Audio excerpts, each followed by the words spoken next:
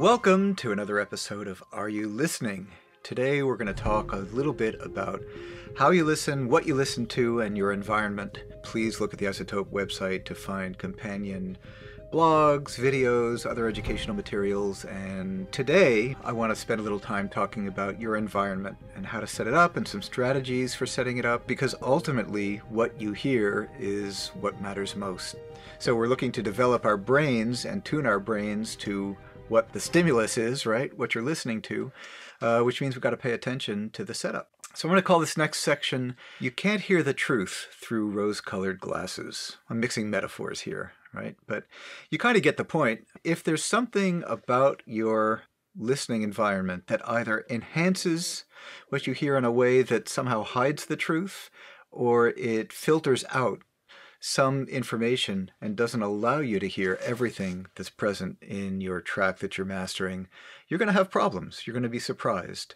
Either what you're doing isn't going to translate well out into the world, or, and, and this is kind of a sneaky thing that happens sometimes, your processors, compressors especially, might misbehave because of something in your mix that is causing it to misbehave that you can't necessarily hear.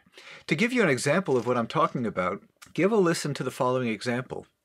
I have created, it's, a, it's not a particularly musical example, but created a version of a song where you hear the mix and there's a 40 hertz pulse that happens at the beginning every three or four seconds or so. Give a listen and see what you notice.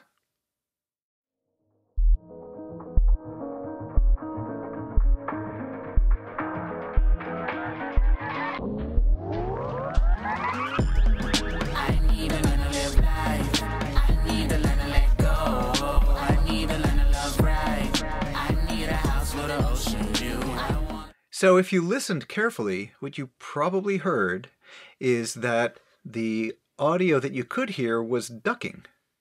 And it was ducking in response to this 40 hertz tone, and my guess is that many of you in your listening environment couldn't hear the 40 hertz tone. So we've got a challenge here. We're witnessing a symptom of something being problematic about the audio, but we can't hear the cause right? And I think everybody probably recognizes what the issue is here. Now, if you, I don't know if you can see behind me, I've got really big speakers and a really big room to support them and lots of low frequency resolution so I can hear everything in the audio spectrum. So I wouldn't be surprised if you were saying to yourself, well, that's fine, but I can't afford your big speakers, and I understand that. So what are some things that you can do to help you compensate for that? Let's talk for a minute about headphones. Headphones are a wonderful tool to complement your main monitoring environment. Uh, they can give you a relatively inexpensive way of getting a good shot at hearing the full spectrum and diagnosing problems that may be a little bit hard or impossible to hear in your main monitors in your room. So I would definitely advocate as a wise investment for getting some decent headphones. It wouldn't surprise me if you end up spending 150 or $200 at the sort of lower end to get something that's got good resolution through the bass. Having said that, I think as a general proposition, most people accept that or believe that it's better to listen through speakers than headphones there are things about headphones that are unusual in that they cover your ear and they prevent what's called crossfeed from the right speaker to the left ear, the left speaker to the right ear, as well as the closer, more direct path. And while there are bits of software, sometimes it's built into playback devices or D to A converters to help simulate this, this idea of crossfeed, you should just know that if you do most of your work in headphones, you may make mistakes regarding imaging and maybe even tone so that a recording might translate well to other people wearing headphones, but not necessarily so well out into environments where people are listening through speakers, whether it's handheld speakers or in rooms where there are speakers playing out into the air. So a rule of thumb, use speakers, but feel free to use headphones to augment your ability to hear what you need to hear. So assuming that you've done the best that you can with your listening hardware and your listening environment, we need to think about what you're going to use to measure what you're doing against, what you're going to use as a reference. You know, in the same way that all of us have developed this internalized reference of what a guitar sounds like or what a drum sounds like. You know, we weren't born knowing this. We learned that by repetition over and over and over again. A guitar plays, you're like, oh, that's a guitar. Mastering engineers and people who do mastering, if they practice enough, they begin to develop an internalized reference of level and tone. But that comes through practice and repeated exposure. If we are going to develop this internalized reference, we need to develop a series of reference materials to help us begin to understand what good tonal balance sounds like and what proper level sounds like. So I'm going to talk about some of the strategies for doing that. So the first thing is you want to begin to collect or curate a library of material that sounds good to you. And we'll post a link to a Spotify playlist that you can go to and listen to good sounding mixes and good sounding masters. But I would encourage you to start to develop your own library of files. It's important to think about where those files come from. If you were to record the stream coming from a streaming service, they all play at different levels and at different qualities of fidelity. So if you're not careful about selecting good material, to use as reference material to help you educate your ears, you may be calibrating to something that's actually not the best case. It may actually play back quieter than what the original master was, in which case it would lead you to a wrong conclusion, or loud or distorted or what have you. So, a couple of guidelines here. First of all, if you're going to curate a library, collect a series of files that you download directly, whether it's from you know, iTunes or whether it's from uh, one of the high resolution file websites where you can buy uh, lossless audio, or even, you know, go find some CDs and rip those CDs directly into your library. That gives you the best shot of collecting material that sounds as much like the original master as possible. It won't sound exactly like the highest resolution version, but it'll be close enough for your purposes. So the next thing and this becomes a little bit more challenging, is always playing your audio back through the same reference digital to analog converter. Now, a digital analog converter is something that shows up in any device that lets you to play digital audio. But if you're playing through a mixer of any sort, and you're playing the output of a phone and comparing it to the output of a streaming service and comparing that to the output of a CD player, those are not all the same. They don't all play back at the same level, and there may be some subtle changes even in the tone that comes out from each.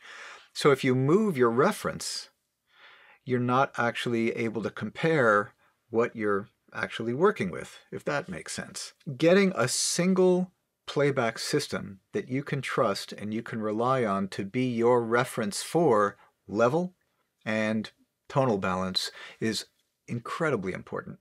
Ultimately, what we want to do as mastering engineers, the, the goal, the, the best outcome would be to be able to sit down at your system when you're about to master something, hit spacebar, and immediately know, oh, that needs to be brighter and it needs to be louder or that's loud enough, but it needs a little bit more compression, or you know whatever it is, to be able to make those instantaneous judgments. The best way to do that is to know walking in what the playback level of your system is and not change it. When you listen to mixing tutorials, it's not unusual to hear the advice. You know, sometimes I turn it up for a while to get a better shot at the bass. Sometimes I turn it down for a while so I make sure I can hear the vocals in the context of the mix. There are a lot of reasons for varying playback level in mixing. In mastering, if we just leave our playback level static and you hit play, then you will get whatever playback level you have through your system you come back the next day and hit play, playing back a different track, and if it's a lot louder, you'll know that instantly because you haven't mucked around with the playback level. Okay? So how do you do that? Get 12 tracks, 10, 12 tracks uh, from a variety of records from your favorite genre and load them all into a timeline in your DAW. And then do a needle drop. By needle drop, I mean just take your playback head and park it you know, in almost the, the loudest section or the, the hottest section of each one of the tracks. You'll probably notice if they're well mastered that the level of the sound coming from your playback system doesn't change a lot. You can go from track to track to track to track and not mess around with the playback level. Get your SPL sound pressure level measuring device. For most people, it's a phone with a sound pressure level meter. You can get a whole bunch of different software or app sound pressure level meters that work on a phone. Hold it about, well, more or less where your head would be when you're listening. And as you're going from track to track to track, look at the readout. And what you want to end up with is something in the neighborhood of 85 dB SPL. That's kind of the magic number. It can be a little more or a little less, um, but 85 dB SPL is a great target because that's where our hearing is the most even. You won't fatigue when listening at that level, and uh, it's a good point of reference. You adjust the playback on your machine, playing back those tracks to 85 dB SPL, and now take a mix and put it in the timeline and hit play, and you will notice that it doesn't sound like everything else in your timeline. It will become immediately clear what way it's different. Okay? So you begin to notice, oh, I see. Everything that's mastered sits at this level and has a certain tonal balance to it. I know now, when I listen to something else that I'm about to master, what I need to do with that track to make it sound more like everything else in that timeline. Once you've got that, make a note, whether it's uh, a mental note of where in the software control your playback level is, or if you have a hardware controller, as I do here in the studio, make a note of the position of the playback level. That is your mastering level. So anytime you sit down to master something, you put your playback level in that setting, and that's your starting point. And now immediately you'll have a sense of what you need to do to adjust the level, and ultimately to adjust the tone of the track. At the same time, once you've got that set up, take a look at the meter that's present at the output of your DAW when you're playing your track. You'll notice that the, the average level of the tracks that you're playing are sitting at more or less the same volume, whether it's minus 10 or minus 12 dBFS. You can make a mental note of that, and now well mastered equals 85 dB in the air equals minus 12 on your meter, and you've made this equivalency, and you can use that as a point of reference to inform what you do in your mastering work. All right, so I'm going to call this next section your echo chamber. You live in your own echo chamber of thought. One of the greatest challenges when you are trying to master your own mixes is to revisit decisions that you've made and do something different. One of the advantages of collaborating with a mastering engineer that's somebody else is they can listen to what you've done and they hear it differently. They hear it in a different environment and they hear it in a different context, which is their own experience and their own brain. So if you've spent hours and hours and hours in a mix making something sound the way you want it to sound, why would you then change it in mastering? Now, if you've got a great mix, you may not want to change very much. You may want just a little bit more high end or a little bit more bass. You may want to change the level a little bit and we're good to go. In that case, fine. But you do miss the advantage of that collaboration. Here's a weird trick that I like to use. It's actually not a weird trick, but I have a weird idea. So the trick is, after you've been working on a track for a while, go find somebody else in the house, in the hallway, pull them off the street, I don't know, buy them a lemonade to get them to come in and sit down next to you in the studio. They don't have to say anything. But just by inviting someone else to come in and sit next to you, it for me, it changes my brain and I hear things differently. It's almost as if I can hear it through their ears. And sometimes the thing that's obvious that I've totally missed because I'm so focused on something else becomes apparent to me. Now I'm going to spend uh, a minute or two talking about your studio setup. There's so much literature out there and there's so much to be said about room acoustics and design. Uh, sometimes there are things that you can do to improve your environment that cost nothing at all or very little. If you want to build the perfect room, chances are you probably can't make a business plan to support that. But anyway, I don't want to be presumptuous. But let's talk about some of the basic core ideas around setting up a listening environment. Most people are familiar with these, but the first thing is make sure that your listening environment is set up in such a way that you are equidistant from the speakers. You've got an equilateral triangle between speakers and your ears.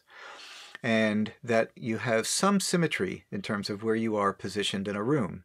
If you're all the way off to one side, so that you're closer to a boundary on one side of the stereo image than the other, that will certainly cause you to hear things in a way that's less accurate.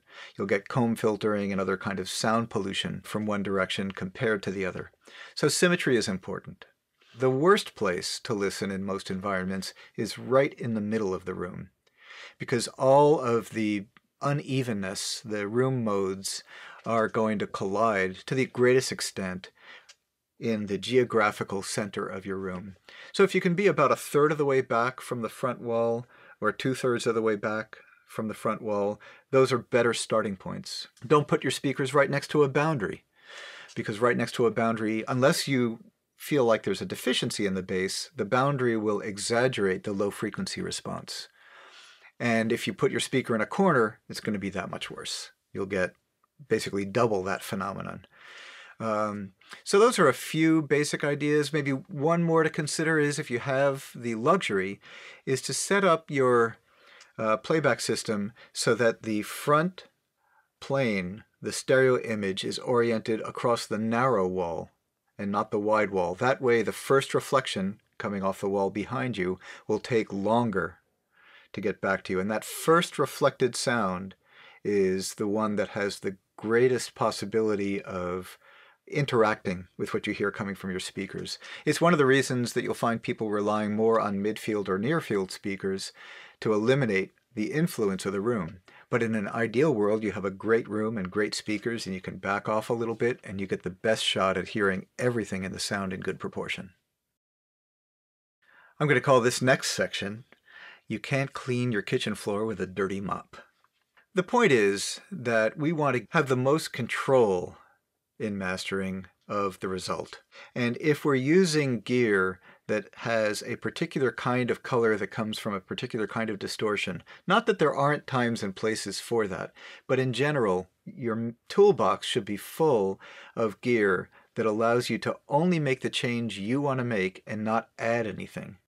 The problem with colorful gear in mastering is that if it imparts a particular kind of color, the assumption is that that kind of color would suit every recording and every genre and everything that you're doing.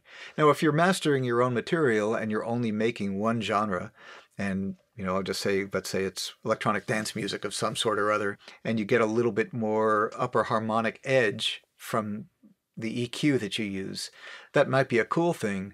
But if you want to be versatile and be able to treat lots of different kinds of material and maybe have the opportunity to not impart that edge, but make something sound a little bit fuller or bigger or smoother, you want a tool that's cleaner, that's more versatile, that has the option to change the character of the tool. In mastering, we tend to seek out uh, tools that are both exacting and also don't have a sound of their own unless we really need color, in which case we'll go looking for it.